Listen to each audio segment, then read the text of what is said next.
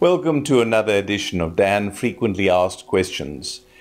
In this case, we're going to be answering a question about a so-called vasovagal syncope. In other words, where the blood vessel that regulates the heart and slows it down gets stimulated to the point that the person loses consciousness.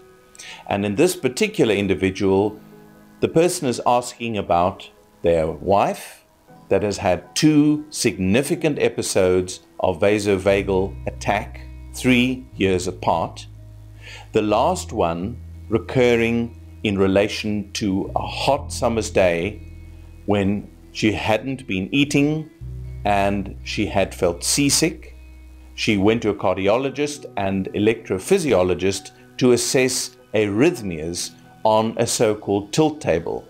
Now what a tilt table does is it puts the person in the horizontal position and then essentially in a very careful calibrated way assesses how their blood pressure adapts to a change in posture.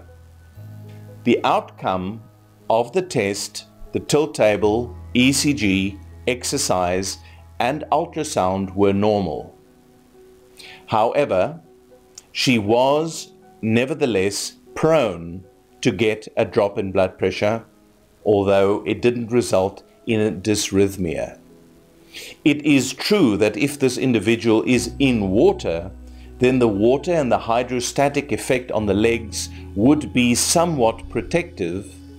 However, when the person leaves the water, there's a chance that they might collapse when climbing up the steps of, of a boat or uh, getting off the boat gunnel uh, getting out of the water uh, into a boat, etc.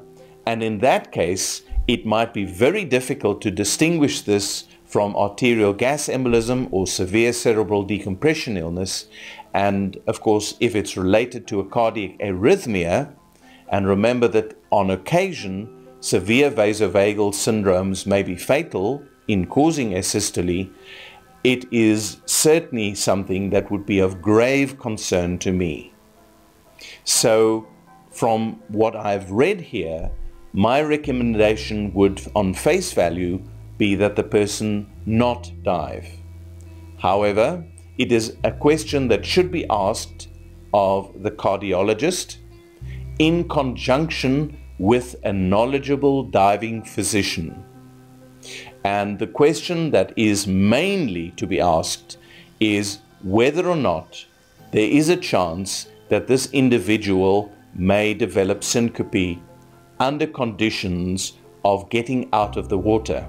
And they may even want to go as far as having this person immersed in water, having their blood pressure taken, and then removing them from the water and seeing what the effect on their blood pressure is. Remember that loss of consciousness while in the water can frequently result in drowning and death, and a severe vasovagal attack may also result in asystole, that is stoppage of the heart, and death. And that is not a risk that one takes lightly. So I hope that's given you some pointers on which to ask your cardiologist and diving doctor and that it will give you a way forward to find out whether or not the risk is acceptable or not. Until next time, safe diving.